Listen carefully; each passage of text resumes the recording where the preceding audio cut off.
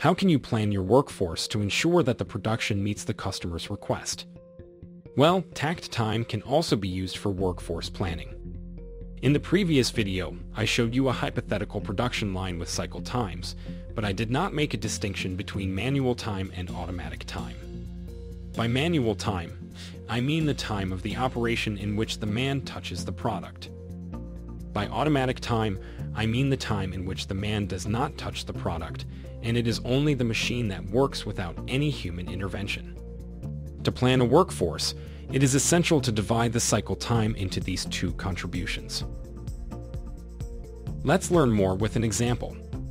Let's go back to the production line proposed in the previous video. We divide the cycle time of each operation into the two contributions, automatic and manual. To find out these times in a reliable way, I recommend a direct observation of the production process at least 5 or 10 times. After the observation, let's imagine filling out a table. Welding cycle time equal 50 seconds equal 40 seconds automatic time plus 10 seconds manual time. Benching cycle time equal 120 seconds equal 0 seconds automatic time plus 120 seconds manual time. Painting cycle time equal 180 seconds equal 160 seconds automatic time plus 20 seconds manual time. Assembly cycle time equal 100 seconds equals 0 seconds automatic time plus 100 seconds manual time. Looking at the table, it is simply calculated that for the production of one piece, there is a need for 250 seconds of human work. Once this information has been calculated, it is possible to proceed with the calculation of the workforce required in relation to the customer demand and therefore to the takt time. The mathematical formula is as follows.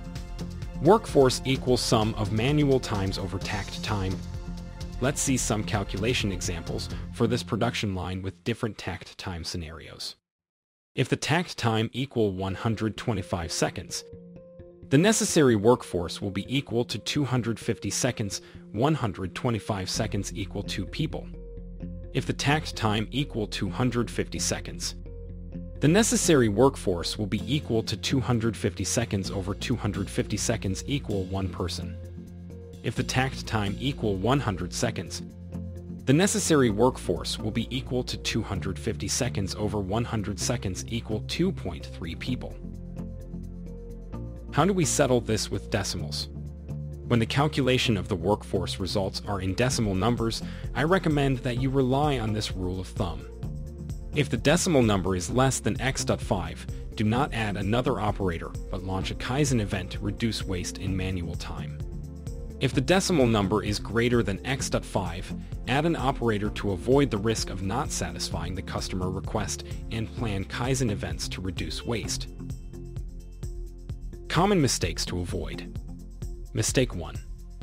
Too little time is spent observing the process in a shared manner with the operators both in the case of an existing line and in the case of a new line to be designed, it is essential to involve the people who will work on it.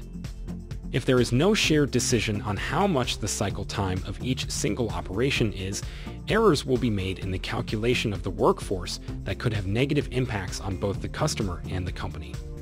Mistake 2. Takt time calculation is not accurate. During this tutorial, I have highlighted how the accurate calculation of takt time is fundamental for all other derived formulas. Calculate takt time accurately. Mistake 3. Do not re-evaluate the calculation of the necessary workforce regularly. The workforce calculation for the production line should be reviewed whenever there is a significant change in the customer's request. If the customer request changes and the same takt time cannot be maintained, the workforce need must be recalculated. Conclusions As you have seen in this miniseries, the calculation of the takt time is of fundamental importance to plan the correct use of machines and men. Through takt time, you will be able to find out if you have the machines and men necessary to satisfy the customer's request. Furthermore, through the takt time bar chart and the calculation of the necessary workforce, you will also have clear indications of where and when to launch Kaizen events that have an immediate impact on the creation of value for the customer.